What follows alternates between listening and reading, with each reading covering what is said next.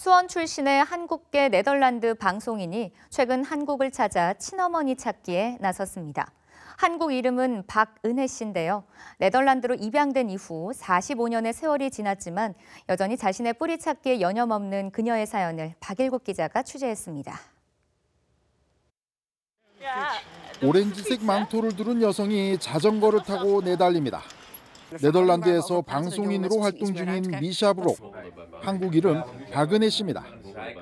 튤립 기념품을 들고 그녀가 한국을 찾아 온종일 하는 일은 길거리에서 전단지를 나눠주는 일입니다. 엄마를 찾고 싶어서 한국에 왔는데 어, 엄마에 대한 정보가 1974년생인 박 씨의 고향은 수원시 정자동입니다. 3살 때 네덜란드로 입양된 이후 자신에 대해 알고 있던 정보는 박은혜라고 적힌 입양 서류 한 장이 전부였습니다. 양부모와 열심히 살았다는 박 씨는 기자로 시작해 이제 유명인을 초대하는 TV쇼를 가진 성공한 방송인으로 성장했습니다. 서른이 지나면서 친부모를 찾고 싶어졌다는 박 씨는 이유를 이렇게 설명합니다.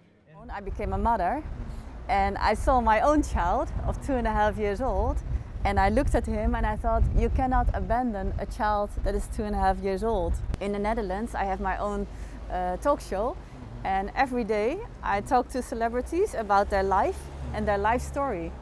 And I don't know my own life story and I don't know the life story of my mother. So I really want to find out. 박 씨가 찾는 어머니의 이름은 이평순 씨.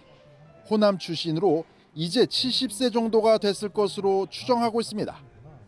70년대 말 수원 정자동을 떠나 친구들이 있는 부평으로 갔을 것이라는 짐작만 하는 상황입니다.